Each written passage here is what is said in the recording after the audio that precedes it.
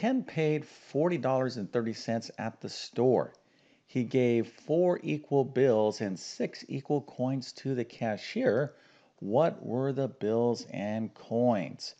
All right, so that's the problem. Feel free to use a calculator. And if you have the answer, put that into the comment section. And then, of course, I'm going to go through the solution to this problem step by step.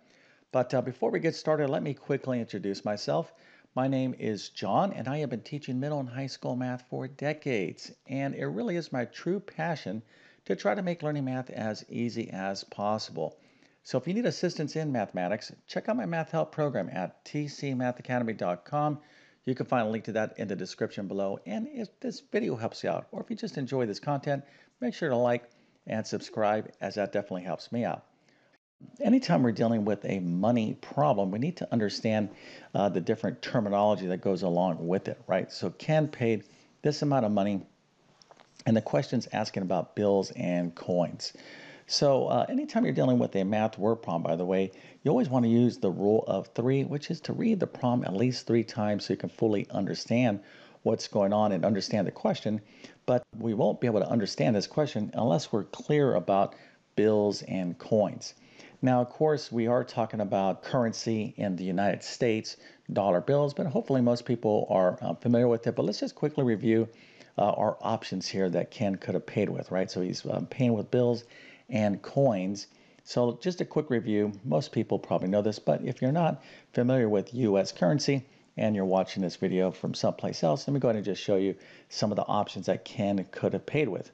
All right, so a bill is a piece of paper like so. That's a, uh, really, maybe I could do a little bit better than that. And in the United States, uh, we usually have like a picture of a president. And so uh, this is a bill. So we have a $1 bill. We have other bills, but these are the most common. So we have a $1 bill, uh, which of course is a dollar. Then you have a $5 bill, a $10 bill, a $20 bill, $50 bill, $100 bill, and there are other bills as well. But these are the most common. All right, how about coins? Well, a coin obviously is a round thing with uh, silver or whatever the case is, nickel. Now, um, coins uh, can, in the United States, can be one cent, okay, which of course would be a penny. And then we have five cents, which is a nickel. Then we have a dime, okay, which is of course 10 cents. And then 25 cents is a quarter. Okay, so these are pretty much the options that we have or uh, Ken has uh, to pay this $40.30. So the question is again, he uh, gave the cashier four equal bills. Okay, so in other words, he didn't give uh, like a $20 and then uh, some $5 and then some $1 bills, four equal bills and six equal coins. Okay, so hopefully most of you are saying, come on, Mr. YouTube Math Man, this is really, really easy. But uh, let's go ahead and proceed just in case some of you out there are a little bit confused. Okay, so here is the problem again. And now that we're uh, clear about the question and what bills are and what coins are, what we need to do is just kind of reason through how can we figure this out? Well, this $40.30, okay, uh, we need to kind of break it up in its bills and coins uh, part, all right? So in other words, $40, this part right here is, this is how much he's gonna pay with the bills, okay? Now, anything under $1, okay, is going to be after the decimal point. So in other words, let's suppose I have a dollar seventy-five. Okay, this is a uh, one dollar bill. Okay, let's suppose you're going to pay with a dollar bill and coins. Okay, here this is your coins, right? This is your change.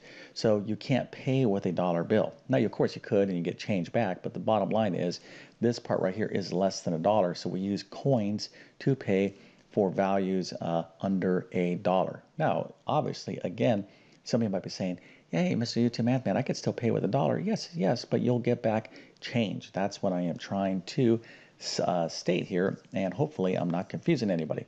All right, but uh, this $40.30, uh, the $40 is the part he will pay with the bills, and the 30 cents, okay, this right here, this is the change, right? So this would be the part he will pay with the coins.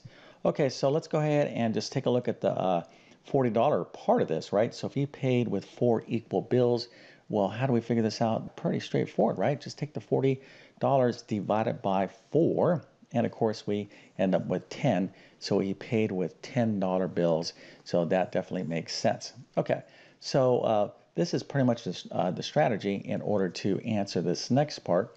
And here, uh, we're going to basically do the same thing, right? So we already figured out uh, this is the cash part, the bills, right? Or not, well, the whole thing is cash, but this is the amount we needed for our uh, bills. So we took the $40 and we divided by 4, and that, of course, is 10. So uh, Ken needs um, 10 uh, $4, uh, he needs four $10 bills. So for this part, this is the change. Okay, so we're going to take the 30 cents and we're going to take 0.3, uh, 0.30 and divide it by 6. Now, somebody could be like, oh, isn't that just 30 divided by 6? That's 5. And you could be thinking in those terms. But if you have your calculator, just take 0.30 divided by 6, you'll get 0.05, which is the decimal value of a nickel. So he needs six nickels. Remember, he's using the same coin, okay, where he's not using some dimes and some nickels.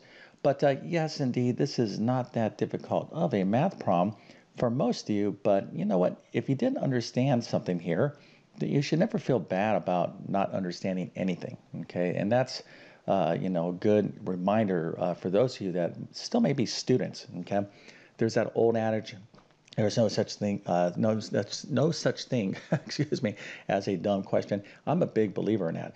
If you are a student, raise your hand. Okay, do what you don't want to do is be like, hey, I think people are going to look at me if I ask this question. Now, if you don't want to ask a question in class or something, then ask a question separately to your teacher. But teachers love it when people ask questions, even if they're basic questions. Okay, so never feel that you know uh, you're the only one who doesn't know an answer. I can tell you, I can tell you right now from teaching many, many years that if you don't understand something and you think it's a like a dumb question, you're like, oh my goodness, I'm the only person that doesn't understand that. I can tell you probably a third or half the classroom doesn't understand as well.